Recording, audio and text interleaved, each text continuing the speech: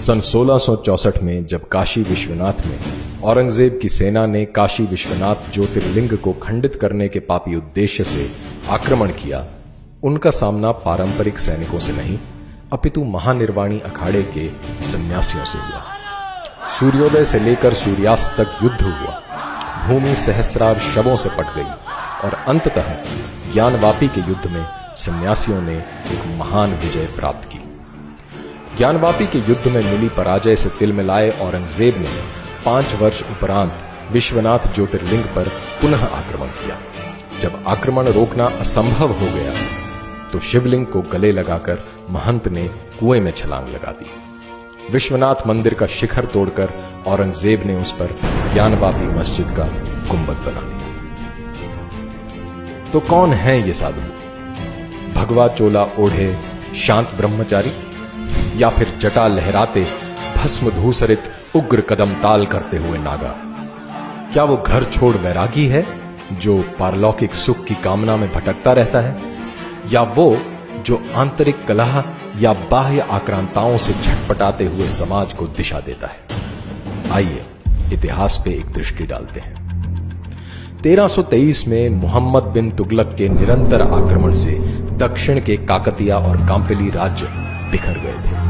मठ मंदिर खंडित कर दिए गए थे और आम जनमानस में असुरक्षा का भाव व्याप्त हो गया था। जबरन धर्मांतरण साधारण बात बन गई। काकतिया राज्य के पूर्व मंत्री हरिहर और बुक्का राय को जबरन इस्लाम कबूल करवाकर उसी क्षेत्र के जागीरदार के रूप में नियुक्त किया गया। ऐसी अराजकता को समाप्त करने के लिए क्या करना यथोचित था? एक धर्मपरायण राज की स्थापना करना। परंतु कैसे? स्वामी विद्यारण्य का आध्यात्म बल ही था कि उन्होंने हरिहर और बुक्का राय को हिंदू धर्म में पुनः दीक्षित कर विजयनगर साम्राज्य की स्थापना की। दोनों भाइयों ने आक्रांताओं को बाहर खदेड़ा और राज्य की सीमाएँ सुरक्षित की। स्वामी विद्यारण्य ने सन्यासी होते हुए न केवल नए राज्य को धार्मिक दिशा दी, अपितु प्रधानमंत्री का पदभार भी संभाला। और इस प्रकार दक्षिण में विजयनगर इस्लामिक घुसपैठियों के विरुद्ध बाँध बनकर उभरा, जो 200 वर्ष तक अपने कुशल प्रशासन, उदारवादी धार्मिक नीति, कूटनीति और अर्थव्यवस्था के कारण समृद्ध रहा। मध्यकाल में इस्लामी विस्तार भारत पर कहर बनकर टूटा। सोलहवीं शताब्दी में अकबर के शासनकाल में मुसलमान सूफी हिंदू सन्यासियों पर अनायास ही हिंसा पे उतारू थे। इसके परिणाम स्वरूप स्वामी मधुसूदन सरस्वती ने सन्यासियों को आत्मरक्षा में शस्त्र उठाने हेतु काशी में प्रतिज्ञाबद्ध किया। सत्रहवीं शताब्दी की शुरुआत में मराठी सन्यासी स्वामी समर्थ रामदास तीर्थाटन करते हुए इस्लामिक आक्रांताओं के पराधीन भारत की दुर्दशा को प्रत्यक्ष देख रहे थे। जनमानस मरणासन हो चुका था। उसकी सामाजिक, राजनैतिक तथा धार्मिक नवचेतना के लिए उसमें पौरुष अभिमंत्रित करना आवश्यक था। पुनः धर्म स्थापना हेतु स्वामी रामदास ने गाँव गाँव में हनुमान मंदिरों और अखाड़ों की स्थापना की, जिसमें मराठा योद्धा तैयार हुए। स्वामी रामदास ने शिवाजी को क्षत्रिय धर्म उपदेशित किया तथा स्वयं को छत्रपति घोषित कर हिंदवी स्वराज की स्थापना करने के लिए प्रेरित किया। औरंगज़ेब के शासनकाल में मुगल आतंक अपने चरम पर पहुँचा। जब गुरु गोविंद सिंह के शिशु पुत्रों को इस्लाम न कबूल करने पर दीवारों में चुनवा दिया गया। उधर लक्ष्मण दास नामक एक राजपूत को अपने हाथों से हुई गर्भवती हिरणी की हत्या के कारण संसार से विरक्ति हुई। योगिक साधना करते हुए इन्होंने कई सिद्धियाँ प्राप्त की।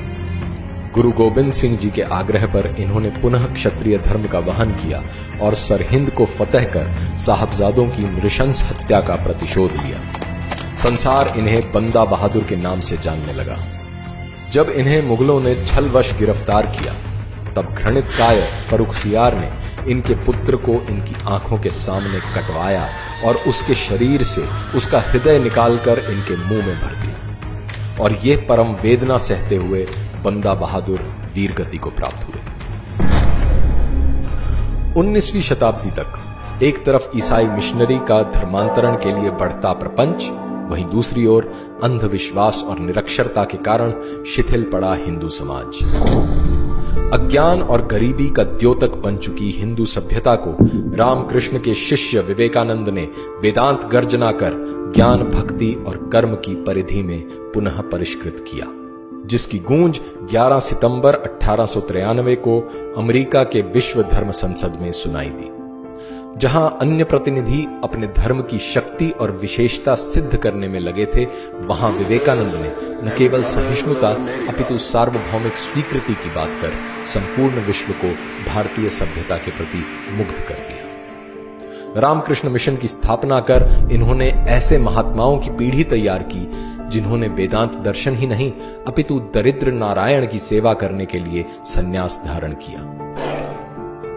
मृत्यु का भय दिखाकर अथवा प्रलोभन देकर धर्म परिवर्तन करने का व्यवसाय भारत में अब पुराना हो चला है। धर्म परिवर्तन के इस कुचक्र को भेदने का कार्य आर्य समाज के शुद्धि आंदोलन से शुरू हुआ।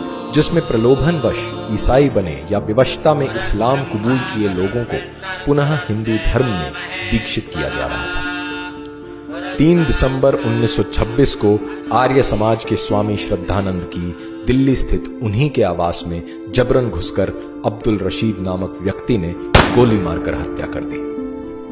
राष्ट्रीय आंदोलन में प्रमुख भूमिका रखने के बाद भी स्वामी श्रद्धानंद को इसलिए मार दिया गया क्योंकि वे उन मलकान राजपूतों को पुनः हिंदू धर्म में प्रविष्ट करना चाहते थे, जो मुगल काल में जबरन मुसलमान हो गए थे।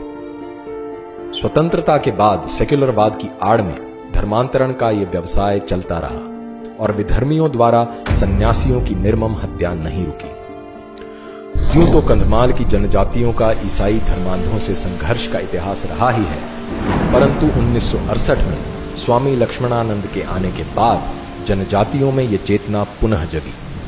23 अगस्त 2008 को जन्माष्टमी के दिन 20 सशक्त नकाब पोषों ने स्वामी लक्ष्मणानंद की कलाई और स्नायुजाल को काटकर उनके शरीर को गोलियों से छलनी कर दिया। 2013 में माओवादी नेता पुलरी रामा राव तथा अन्य धर्मांतरित ईसाइयों को दोषी पाया गया। इसी प्रकार सन्यासी कई बार गहरे षड्यंत्र का शिकार हो जाते हैं, या फिर सरकारी उदासीनता के कारण गुमनामी में देह त्याग करते हरिद्वार स्थित मातृसदन आश्रम के सन्यासियों की गंगा के अविरल निर्मल प्रवाह के लिए देह त्याग की परंपरा से बन गई। उसी परंपरा के साधु स्वामी ज्ञान स्वरूप सानंद ने सरकार से मुख्यतः हिमालय में गंगा की सहायक नदियों पर बनने वाले जल विद्युत परियोजनाओं पर तथा हरिद्वार कुंभ में बालू खनन, निर्वनीकरण तथा जीव जंतुओं की हत्या पर प्रभावी रोक लगाने की मांग की। सरकार की उदासीनता देखकर मजबूरन, आमरण, अनशन पर बैठे। अपने अंतिम साक्षात्कार में स्वामी सानंद ने कहा था कि अगर गंगा के लिए उनकी मृत्यु भी हो जाए तो उन्हें कोई पछतावा नहीं होगा। 12 अक्टूबर 2018 को स्वामी सानंद ने अनशन के 112वें दिन अंतिम सांस ली। इतिहास साक्षी है कि मोह माया की दास्ता न स्वीकार करने वाले सन्यासियों ने सांस्कृतिक दासता के विरुद्ध अग्रिम भूमिका निभाई है। भारत के इन वीर सपूतों को हमारा शत शत नमन।